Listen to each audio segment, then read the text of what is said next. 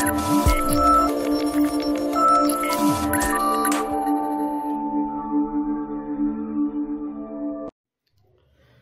friends, welcome back to our channel.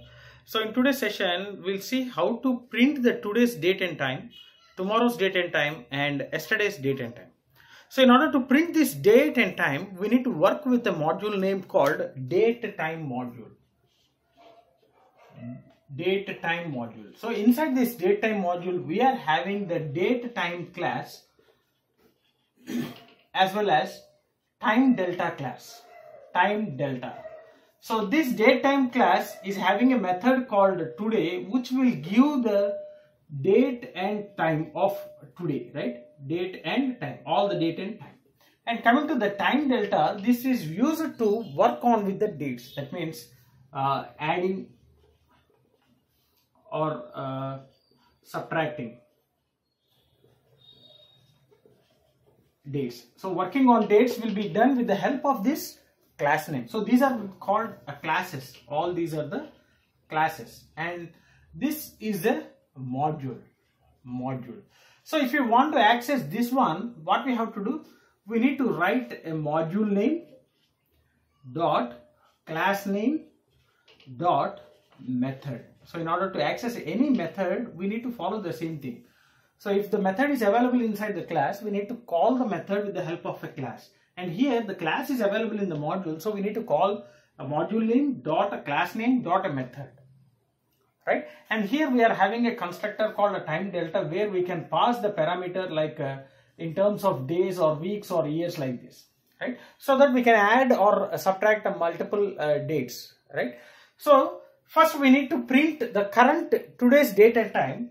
So the today's date and time will be getting with module name. So module name is date time module dot class name is date time. Again the date time class.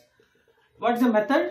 Today. So simply use a today method so that everything will be available in today. The next one is uh, tomorrow. So in order to get the tomorrow we need to add one day for today. So so the today's date is in today. So today plus what we have to do we have to use this time delta to add or subtract the dates. So time delta is available in the module name called date time. So date time dot time delta time delta and this is a constructor and here you can pass the arguments, the keyword arguments. So that is a days. So days is equal to 1. So automatically for today's day, one day will be added. So uh, today's date is some 23rd 3 2022 and this will be automatically 24 3rd 2022. And if it is yesterday, what we have to do? So if you want to get the yesterday, we need to subtract one day from the today. So today minus the module name date time dot time delta class time delta of days is equal to 1. So one day will be subtracted from today. So obviously we'll get the date as 2203 2022. So if you want to add a 5 days, so simply give days as 5. And if you want to subtract 5 days, give days as 5 and uh, subtract the days from today.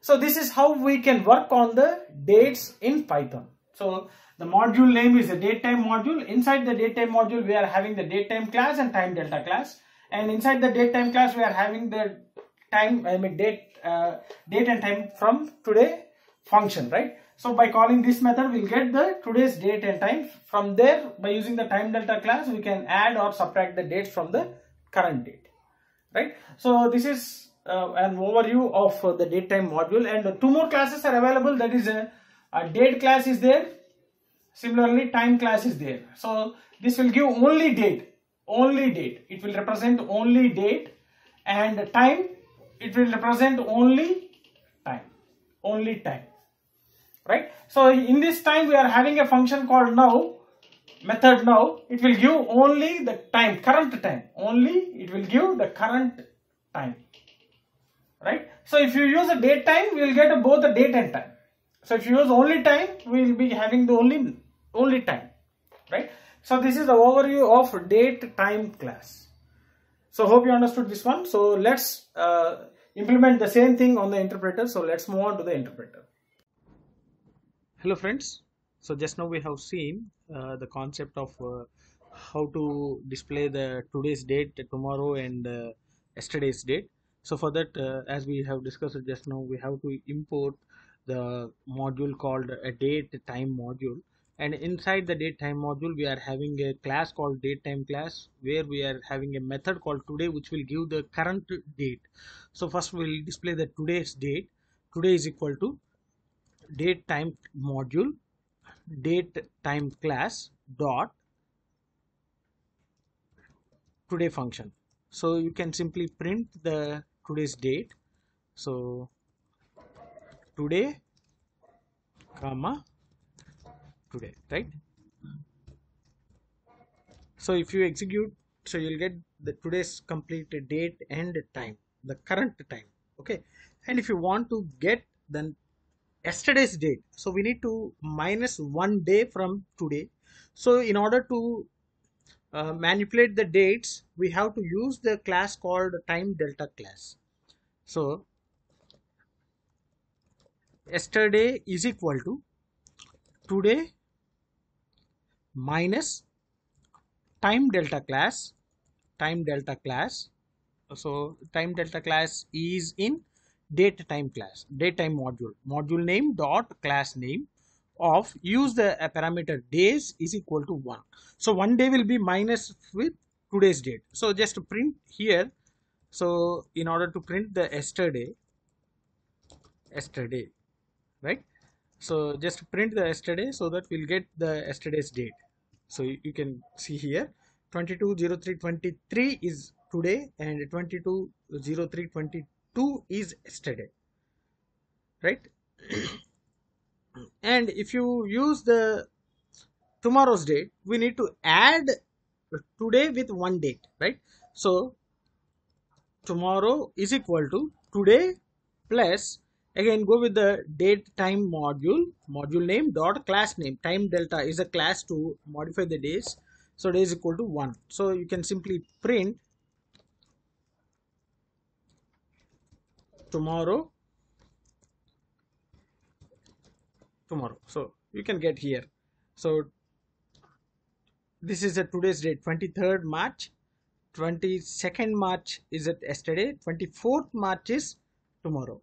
So if you want to get a five days after today's date simply use the uh, thing uh, some d is equal to so today plus date time module name dot class name time delta class of days is equal to 5 so it will add 5 days for today's time so that you will get the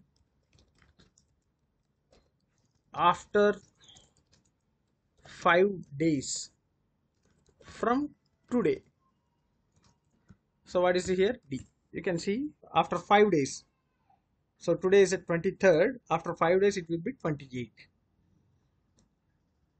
right? So this is how we can display the date and time of today yesterday and tomorrow and whatever the date we require right? So hope you understood this one. So the date time class uh, date time class will be having the today's method in order to get the current date and time. And if you want to work on dates we need to use the time delta class right? So hope you understood this one. If you are having any doubts regarding this one feel free to post your doubts in the comment section. Definitely i will try to clarify all your doubts.